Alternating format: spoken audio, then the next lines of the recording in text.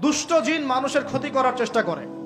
একটু বলে দেই, মানুষের মধ্যে যেমন ভালো মন্দ আছে, জিন জাতির মধ্যেও কি আছে? ভালো মন্দ আছে। দুষ্ট জিন মানুষের ক্ষতি করার চেষ্টা করে। কি করে ভাই? এবং দিন দিন কিন্তু এর প্রভাবটা বাড়ছে। তো এখান থেকে বাঁচার জন্যে কিছু প্রোটেকশন আগে বলে দেই, তারপর সামনে যাই। প্রত্যেক দিন সকালে এবং সন্ধ্যায় তিনবার করে সূরা ইখলাস পড়বেন। কুল হু আল্লাহু আহাদ। আল্লাহু সামাদ লাম ইয়ালিদ ওয়া লাম ইউলাদ ওয়া লাম ইয়াকুল লাহু কুফুয়ান আহাদ। সকালে সন্ধ্যায় কয়বার? তিনবার। আর তিনবার পড়বেন সূরা ফালাক। কুল আউযু বিরাব্বিল ফালাক। এই সূরা। আর তিনবার পড়বেন সূরা নাস। কুল আউযু বিরাব্বিন নাস। এটা। প্রত্যেক ফরজ নামাজের পর একবার করে পড়বেন আয়াতাল কুরসি। আয়াতাল কুরসি কোন সূরা আছে? কত নাম্বার আয়াত? মাশাআল্লাহ। দুইশো পঞ্চান্ন। আল্লাহ কাইয়ুম। এখান থেকে শেষ পর্যন্ত।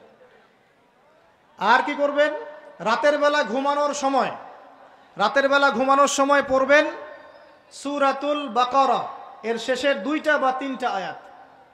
লিল্লাহি মা ফিস সামাওয়াতি ওয়া মা ফিল আরদ। এখান থেকে ফানসুরনা আলাল কওমিল কাফিরিন পর্যন্ত। নবী সাল্লাল্লাহু আলাইহি ওয়াসাল্লাম বলেছেন রাতের বেলা কেউ যদি সূরা বাকারার শেষের এই দুইটা, তিনটা আয়াত পরে ঘুমায়, সারা রাত আপনি যদি এবাদতে থাকতেন, যে নেকি পেতেন, এটা পরে ঘুমানোর ফলে সেই নেকি পাবেন ইনশাআল্লাহ। এখন বলেন দেখি, কতজনের সূরা বাকারার শেষের তিনটা আয়াত মুখস্থ আছে? মাশাল্লাহ তো এখন বলেন আমাকে, আল কোরআনের আলো ঘরে ঘরে কি চলবে বলেন। শোনেন, আমার কথা রাগ করেন না। আমরা তো সবাই চাই যে আল্লাহর কোরআন, আল্লাহর জমিনে প্রতিষ্ঠা লাভ করুক। চাই কি না? তাহলে সবার আগে নিজের মধ্যে কোরআন কায়েম করতে হবে। কোথায়? আগে নিজের উপর কোরআন কায়েম করুন, নিজের উপর সুন্না কায়েম করুন, নিজের উপর দিন কায়েম করুন, ইনশাল্লাহ দিন ঘরে ঘরে পৌঁছে যাবে ইনশাল্লাহ। প্রত্যেক ঘরের মানুষ এই নিয়াত করতে পারি কি ইনশাল্লাহ? যে আমরা সবাই কোরআন পড়া শিখব ইনশাল্লাহ। কোরআনের বাছাই করা কিছু আয়াত অন্তত মুখস্থ করব ইনশাল্লাহ পুরা কোরআন তোমাদেরকে মুখস্থ করতে বলছি না। হয়তো অনেকে পারবে না। যারা পেরেছে তারা সৌভাগ্যবান, আলহামদুলিল্লাহ। কমপক্ষে সুরা বাকারার শেষের তিনটা আয়াত পারব না ভাই? আয়তাল কুরসি পারব না?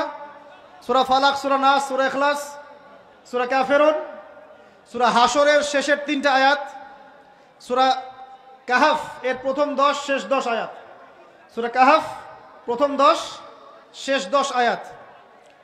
সুরা সফাত এর প্রথম দশ আয়াত। সুরা আর রহমান সুরা ইয়াসিন, সুরা মুল্ক। এই যে কমন জিনিসগুলো, এগুলো মুখস্থ করতে পারব না ভাই ইনশাল্লাহ আল্লাহ পাক সবাইকে তৌফিক দান করুন, বলি আমি আর এখন যারা বিয়ে শাদী করেন নাই, নিয়াত করেন। যে আপনাদের ঘরে যে সন্তান আসবে আচ্ছা সন্তানের আগে বউয়ে আসি নাকি? আচ্ছা যারা বিয়ে শাদী করেন নাই, নিয়াত করেন। দিনদার, মুত্তাকি, পরহেজগার কোরআনওয়ালা মেয়ে ছাড়া বিয়ে করার দরকার নাই। বাস বাস বাস বাস বাস। শোনেন, এর মানে এই নয় যে খালি মাদ্রাসার মেয়েদেরকে বিয়ে করবেন। বরং এমন অনেক দিনই বোন আছেন আমাদের স্কুল, কলেজ, ইউনিভার্সিটিতে পড়েন, তারা অনেক বেশি দিন চর্চা করেন, মাশাআল্লাহ। আমি বলেছি কোরআনওয়ালা দিনদার, পর্দাশীল, নারী বিয়ে করবেন এবং দ্বিতীয় নিয়াত করেন, যে সন্তানই হবে কমপক্ষে একটা সন্তানকে হাফেজে কোরআন বানাবেন ইনশাআল্লাহ।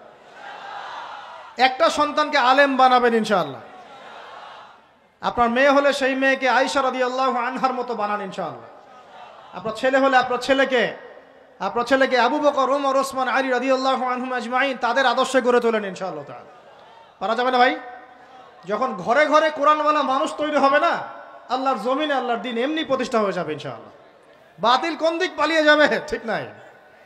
সব কিছু শেষ আছে না বলেন তো? সব কিছু শেষ আছে। ঘরে ঘরে কোরআনওয়ালা মানুষ তৈরি হবে তো ইনশাল্লাহ আল্লাহ কবুল করুন, বলি আমিন। কোরআনের এই বিশেষ সুরাগুলো মুখস্থ করতে পারব তো ইনশাল্লাহ ভাই? এগুলো নিয়মিত চর্চা করলে আপনাকে দুষ্ট জিন, জাদু, বদনজর, এগুলো গ্রাস করবে না ইনশাল্লাহ